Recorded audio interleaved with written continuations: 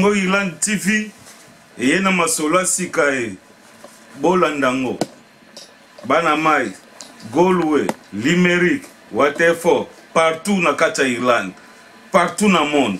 Partout na congo. Bolanda congo irlande tv eza histoire romaine. Moto atindi bino bolanda yango. Masolo asika ye. Tosepela nango congo irlande tv yango oyo bina file. Euh, L'arrivée au pouvoir euh, du président Félix Antoine Tshisekedi Chilombo, euh, nous avons tous euh, découvert à travers les images Madame Denise Nyakeru Tshisekedi, la première dame, l'épouse du chef de l'État. Et aujourd'hui, elle va prendre la parole pour la toute première fois. On va pouvoir l'écouter, l'entendre. On ne sait pas ce qu'elle va nous dire, mais sûrement c'est un mot euh, qui concerne la manifestation euh, d'aujourd'hui. Et comme euh, elle est une femme, elle comprend très bien le droit, euh, les droits que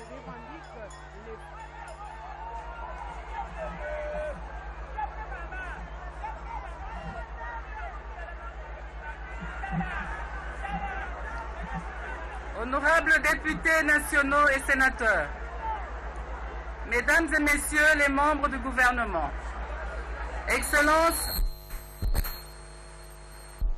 du genre enfants et famille, Mesdames et Messieurs les membres du cabinet du chef de l'État, Mesdames et Messieurs les ambassadeurs et chefs de missions diplomatiques, Mesdames et Messieurs les représentants des organismes du système des Nations Unies, Monsieur le gouverneur de la ville, province de Kinshasa, distingués invités en vos qualités et titres respectifs, tout protocole réservé, observé, Mesdames et Messieurs, je vous salue d'un amour profond et vous transmets également les salutations de mon tendre époux, notre Père de la Nation.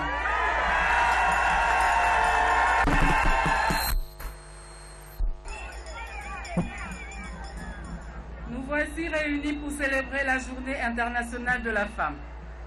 En ce jour où le monde entier célèbre la 162e journée internationale de la femme, nos premières pensées vont vers les femmes victimes des violences sous toutes ses formes en République démocratique du Congo.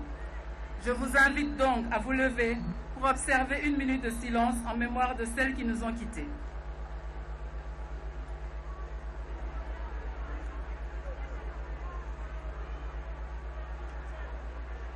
Je vous remercie.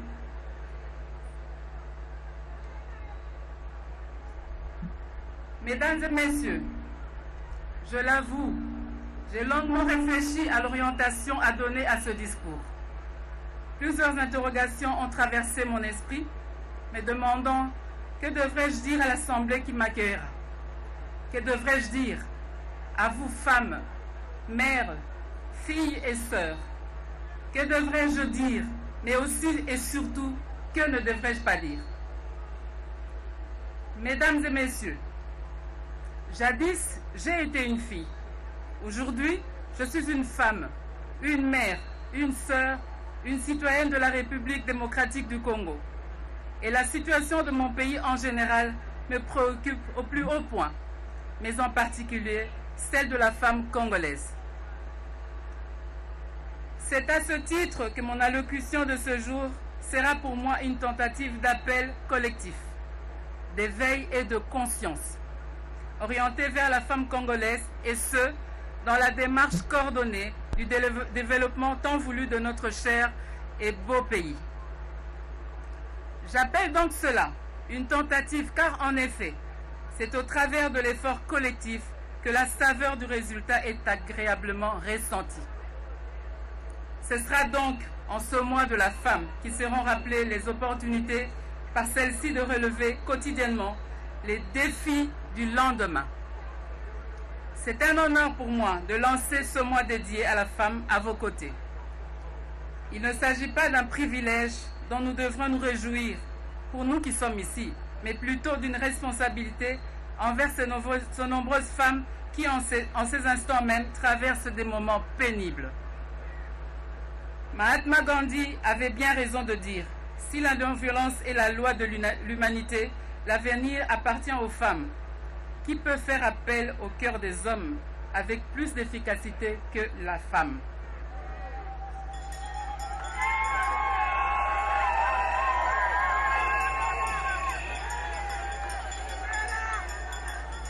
C'est justement pour cela que le privilège de cet instant est pour ma part ressenti comme une responsabilité. En regardant, en pensant à ces femmes qui, jour après jour, nuit après nuit, côtoient quotidiennement la mort, la souffrance, la désolation, ou du, ou du moins ont déjà pris rendez-vous avec elles du fait des violences sous diverses formes qu'elles subissent et choisissent de taire au nom de la peur. Un véritable éveil devrait nous animer, nous, à qui il a été fait grâce de vivre dans une certaine quiétude. Pourquoi cela? Pourquoi tous ces viols? Pourquoi toutes ces violences? Pourquoi ces inégalités perdurent? Ne nous trompons pas, ces femmes vivent avec nous. Elles sont là, distantes ou pas, mais elles sont bien présentes. Elles sont dans nos familles, elles sont dans nos quartiers, nos villes, nos provinces, dans notre pays et pas uniquement dans nos postes téléviseurs, ni simplement dans les réseaux sociaux. Il est plus que temps que cela cesse. Je répète, il est plus que temps que cela cesse.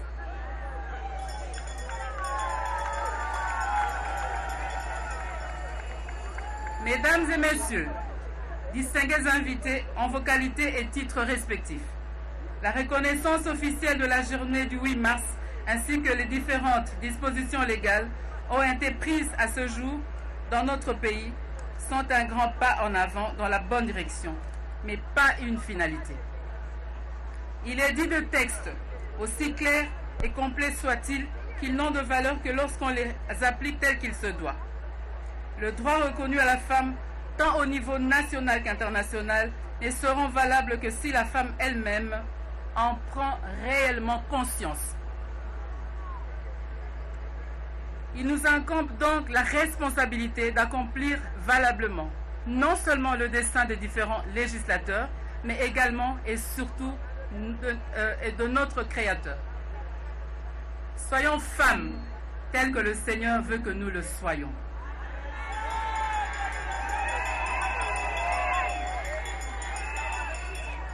Je parle ici de la femme, symbole de l'amour. Aucune émancipation, aucun développement, aucune intelligence, aucune innovation ne saurait se réaliser sans que préalablement ne soit posé le jalon de l'amour comme un socle.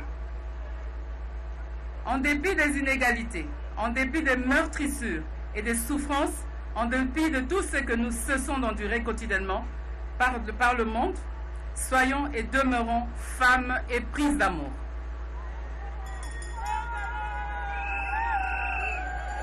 L'amour envers nos prochains, l'amour envers nos semblables, envers nos pères, nos frères et sœurs, nos époux, l'amour dans nos familles, mais aussi et surtout entre nous et envers nous. Oui, en effet, il nous appartient non seulement d'être ce symbole, mais bien plus. Soyons le bon exemple.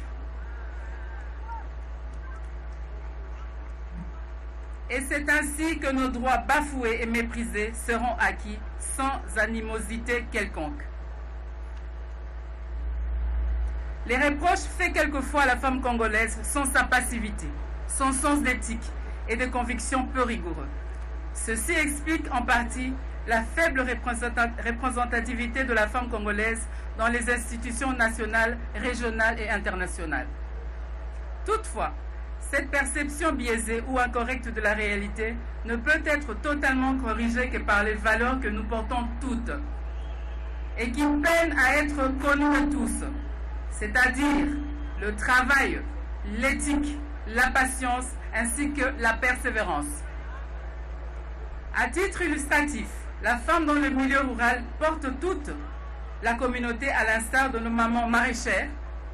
La femme dans nos foyers porte tout le ménage. Prenons l'instant de regarder celle qui est assise à vos côtés. Elle peut être cette héroïne méconnue ou non reconnue à sa juste valeur. Moi, je peux vous donner des noms. Thérèse India, dans la génie électronique industrielle pour ses robots roulage intelligents. Sandrine Moubenga, dans la génie électrique, plusieurs fois primée pour ses recherches dans les voitures hybrides. Guedayav, dans l'aviation civile, police de ligne à la compagnie nationale. Nicole Coco Tumbabwacha, professeur de droit international public. Raïssa Malou, professeur de sciences et de mathématiques. Rebecca Kabuo et Gloria Senga, activistes de mouvements citoyens. Et tant d'autres femmes entrepreneurs. Et il est temps que cela se sache. Chère maman, nous avons une autre responsabilité, celle d'éduquer la nation entière qui aspire au progrès social. Nous devons bâtir ce pays et le rendre plus beau qu'avant. En référence au thème international de la célébration de ce jour, à savoir penser équitablement, bâtir intelligemment, innover pour le changement, il nous appartient de méditer et d'emmener l'ensemble de la société congolaise à réfléchir aux moyens innovants permettant de valoriser la femme congolaise et d'œuvrer pour son autonomisation dans le système de protection sociale et la construction des édifices durables. En ce qui me concerne, je vous assure de mon engagement de m'aligner auprès de tous les ambassadrices et ambassadeurs de la lutte contre les violences faites à la femme.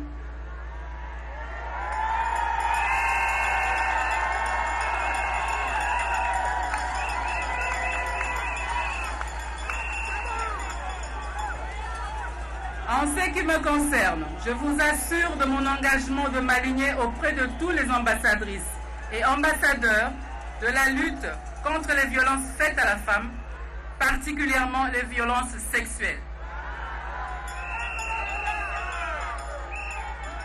Je m'attellerai personnellement à rendre cette lutte une réalité permanente au travers du soutien aux réformes innovatrices et courageuses. Je me propose d'être la voix de toutes celles qui pleurent en silence, non sans peine et douleur. Et je propose à chacune de nous, où qu'elle se trouve, de parler et de faire parler les violences dont elle serait victime. Oui, bannissons le tabou et parlons encore plus fort qu'avant, pour qu'aucune autre femme ne soit brisée par la violence sous toutes ses formes. Je serai toujours aux côtés des femmes et des filles, afin de leur donner une opportunité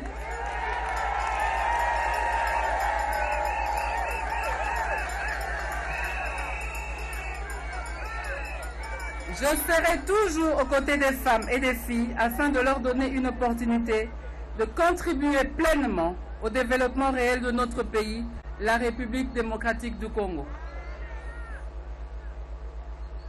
Pour finir mon propos de ce jour, en soutien au thème national de cette journée, j'aimerais insister sur ce qui suit. Si à un moment donné de ce discours, l'attention vous a été détournée, j'aimerais humblement que nous retenions ensemble ces quatre éléments. Amour, prise de conscience, travail, persévérance.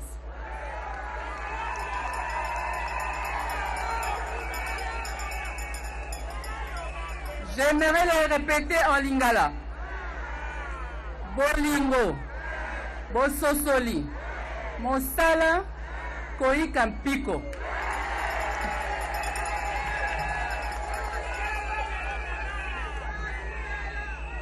bamama mbote mbote lisusu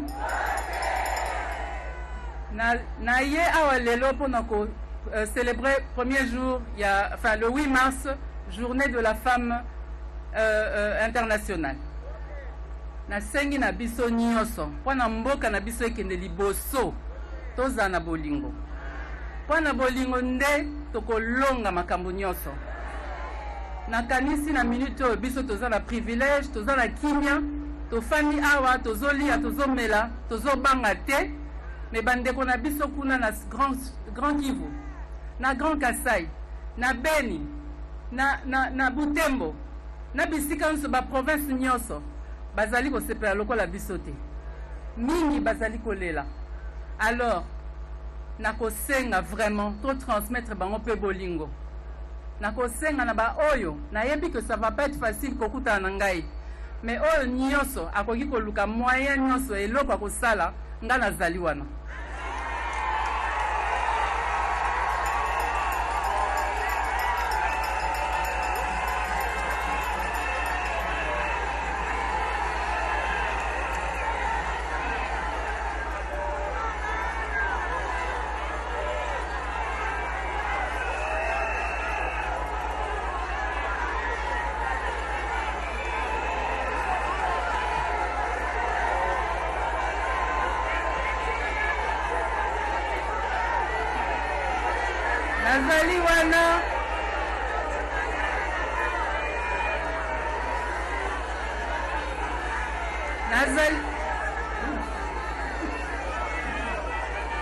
nazali wana mpo na komema mokumba ya kongo namema message na bino epai ya président.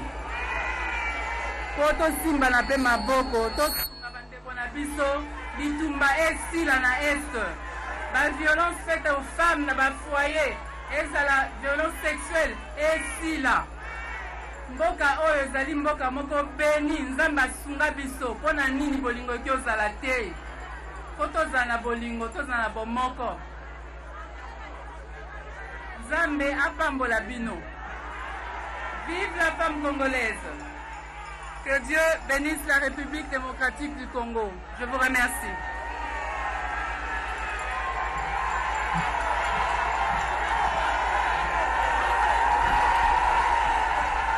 Euh, voilà, Christine Lenzo, on vient d'entendre pour euh, la première fois première dame parler.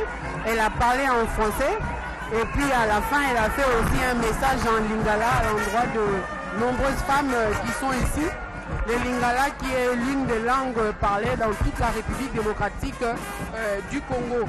Dans son résumé, dans son résumé, on peut dire que la première dame a rappelé les opportunités euh, que offre euh, la célébration de cette journée qui sont euh, les opportunités à relever ou euh, les défis pour le développement. Elle a lancé un message d'amour, de prospérité.